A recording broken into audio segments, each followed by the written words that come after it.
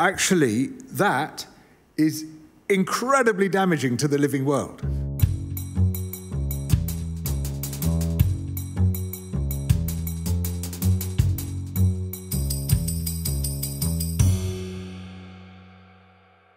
George, welcome. Welcome back to the Balie again. We just watched the, an excerpt from the film, not the entire film, but maybe if you can, um, yeah, share with us what you think.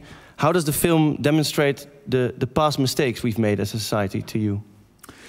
Well, uh, it's a really great thing that this film is out. I mean, at last, we are challenging the bucolic, romantic image of farming, particularly low productivity farming which we've fetishized for years. Our food writers, our celebrity chefs, our television programs, they love farming that produces hardly any food.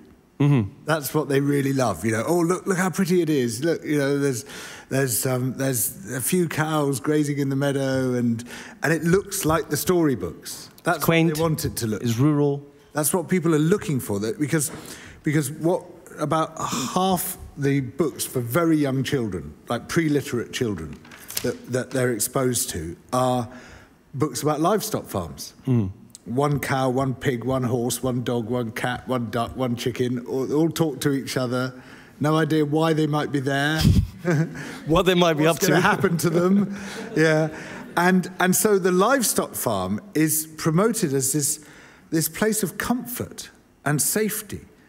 Whereas actually, it's the most horrendous place. I mean, I worked on a pig farm when I was a teenager. You did? Yeah, and, and, and throughout every day, every day, there were two, two questions, or two thoughts which went through my head. The first was, this isn't what they told me farming was about.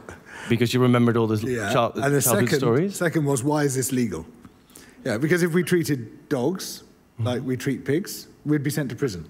It's as simple as that. You know, yeah. we, we, uh, and there would be a horrendous scandal. You know, if someone had packed thousands of dogs together in a vast factory and they were rolling around in their own shit and they were being kicked around and then they were being slaughtered, you know, they, they would have, there would be a massive public outcry and there'd be a long prison sentence as a result of that. How, how strong is that, that, that cultural power?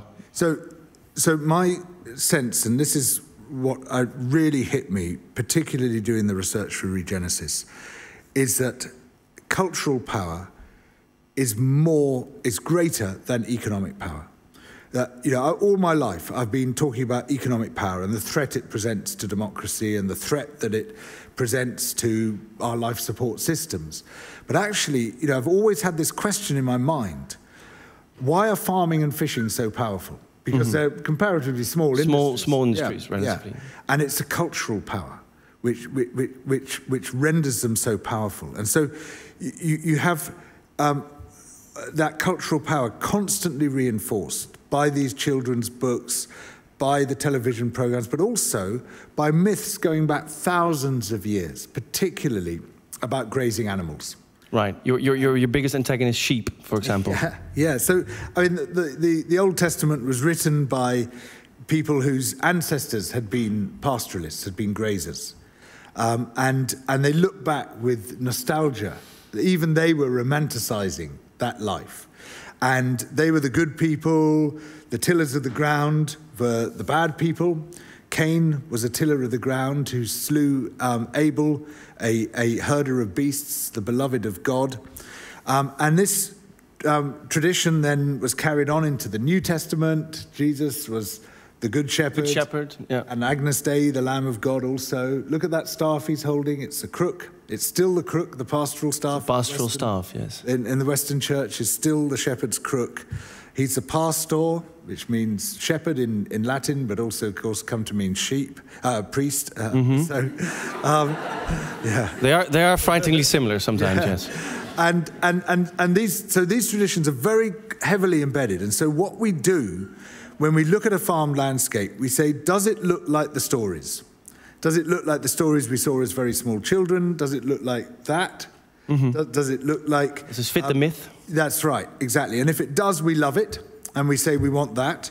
And if it doesn't, we hate it and we, we, we revile that. Right. But actually, that is incredibly damaging to the living world because it's agricultural sprawl. It sprawls across vast areas of land to produce not very much food. And every hectare of land which is used for extractive industries, however low yielding, is a hectare of land which cannot support wild, self willed ecosystems. And the great majority of the world's species, as Andrew Balmford was saying in, in the film, depend on wild ecosystems. Yeah, they're specialists.